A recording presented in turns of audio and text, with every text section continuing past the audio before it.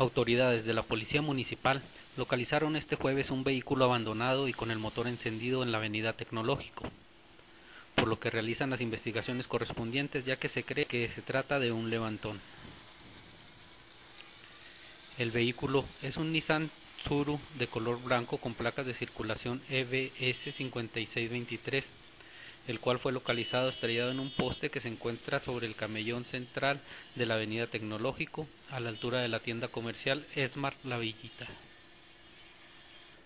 En el interior del automotor se localizó una cartera, un celular y una identificación con el nombre de Rodolfo Salazar García,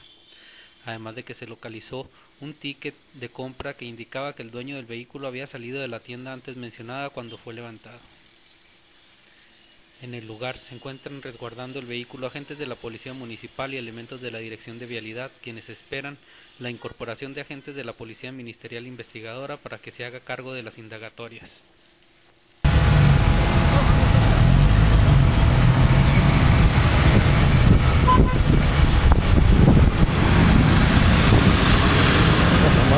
No, no, no.